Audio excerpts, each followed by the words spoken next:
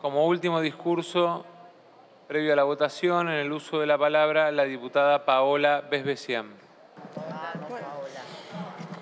Gracias, presidente. Bueno, la verdad que una jornada intensa, una jornada que realmente se caracteriza por restituir derechos, por dar más derechos y sobre todo me parece que mm, ponemos en agenda algo que es fundamental, que es la infancia. La primera infancia y la infancia en general están presentes como las mujeres y las personas gestantes. Este proyecto viene a complementar una política activa que estamos llevando como gobierno. Claramente nuestro gobierno se caracteriza por el bienestar, por el bien común, porque cada vez vamos mejor. Y en este proyecto de los primeros, eh, los primeros eh, mil días, lo que buscamos claramente es la atención y el cuidado de las madres y sobre todo de los niños y niñas hasta tres años de edad.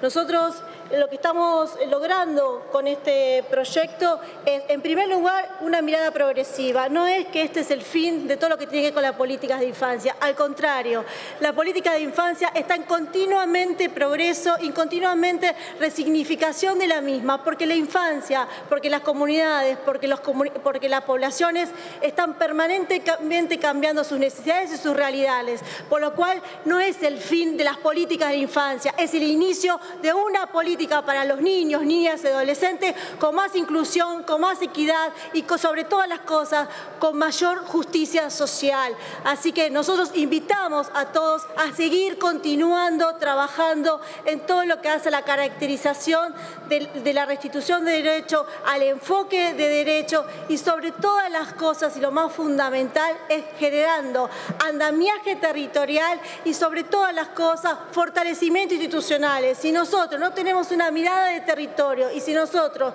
no tenemos instituciones fortalecidas, todas las políticas de infancia van a quedar a mitad de camino. Lo vimos estos últimos cuatro años, donde en muchas cosas fuimos perdiendo derechos en el tema de la infancia, pero como hay un Estado que está presente, que tiene una mirada de perspectiva de derecho, que tiene una perspectiva de familia, que tiene una perspectiva de inclusión, volvemos a poner en la agenda política y como contrato social a la infancia, a las madres y a las personas gestantes. Este proyecto de los mil días de la atención y el cuidado de la infancia nos permite nuevos retos y nuevos desafíos.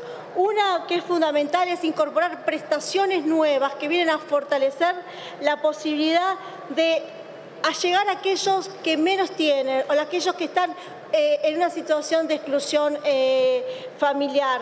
Nosotros no concebimos eh, un gobierno presente sin un Estado que esté fortalecido. Por lo cual, para llevar a cabo este programa de los mil días de la atención y el cuidado de la infancia, es clave que el Estado esté presente. Y este Estado presente va a estar articulando con todos los estamentos gubernamentales y también con las provincias y también con los municipios y también con las organizaciones sociales. Sí, claramente tiene cuatro derechos fundamentales. Uno es el derecho a la salud. Creamos un modelo de atención a la salud. Creamos la atención precoz de algunas eh, patologías de los niños y niñas. Y sobre todas las cosas, estamos incorporando algo que fue una lucha de muchos años, que tiene que ver con los diagnósticos presuntivos de trombofilia. Una lucha de muchas, muchas mujeres que por no tener un diagnóstico adecuado y precoz han perdido un embarazo. También esto tiene que ver con la salud, como también y con la vida, como también eh, el proyecto que acabamos de, aprobar hace minutos. Y también este programa y este, este esta ley que se crea desde el Ministerio de Salud gesta todo lo que tiene que ver con la formación, todo lo que tiene que ver con la capacitación, todo lo que tiene que ver con las guías, todo lo que tiene que ver con la información para poder estar cada vez más cerca de los que este, menos, menos tienen o que más necesitan. Otras cuestiones fundamentales que tiene este proyecto es el derecho a la identidad.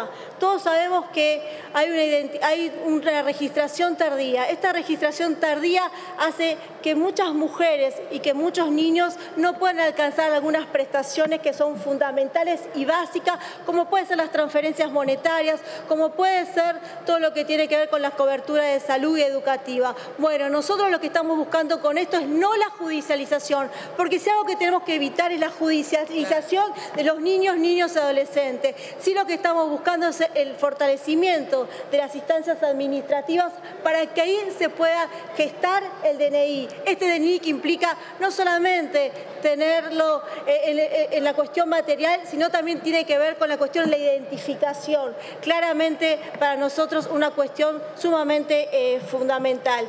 Y también, como me parece que, que es fundamental, viene a robustecer todo lo que tiene con las prestaciones de la seguridad social. Estas prestaciones de la seguridad social que lo que busca claramente es Primero, la ampliación de la asignación por el tema de eh, embarazo, que pasa de seis a eh, nueve meses. Esto quiere decir que vamos a tener una cobertura mucho más amplia. Después crea todo lo que tiene que ver con la asignación para el cuidado eh, de la salud y también quita todo lo que tiene que ver con las antigüedades. Esto es fundamental y también es muy eh, importante, como también incorpora otras prestaciones y otras asignaciones. Yo sé que tengo poco tiempo y yo sé que muchos de los oradores este, han dejado el lugar porque fue una jornada intensiva, pero sí creo que es una jornada histórica y que claramente este, esta ley viene a acompañar a la familia, viene a acompañar a cada uno de los niños, niños, adolescentes que tienen que ser políticas de Estado, más allá de la línea política de cada uno. Si algo que tenemos que tener cuando hablamos de infancia es el compromiso y la seriedad, porque los pibes y las pibas de nuestra República Argentina se merecen todo el esfuerzo y lo mejor de cada uno de nosotros, porque muchos de ellos a veces no tienen voz y en muchos de los casos, lamentablemente, somos los adultos que hablamos por los pibes, pero hay que estar ahí, escuchar y que recorremos el territorio sabemos cuáles son las necesidades, cuáles son los problemas. Por supuesto que acá no venimos y con esta ley venimos a resolver todos los problemas que tiene con la infancia, pero es un paso más, es un paso más adelante, es seguir avanzando, es seguir creyendo en las políticas públicas activas de un Estado que esté presente, de un Estado que sea protector, de un Estado que genere políticas públicas de inclusión, de desarrollo y de solidaridad. Porque ¿saben qué? Yo pertenezco a un proyecto político que aspira al bienestar de la sociedad. Sobre todo, y este bienestar de la sociedad tiene que estar sobre los intereses individuales, que entiende que nadie puede realizarse en una comunidad que no se realiza y que las células básicas de la comunidad son las familias.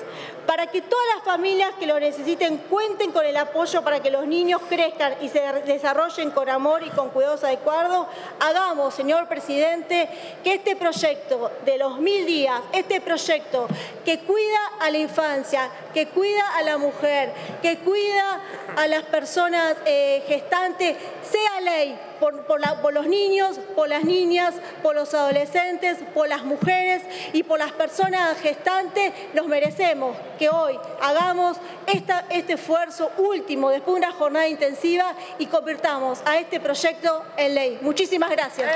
Gracias, diputada Paola Besbesián.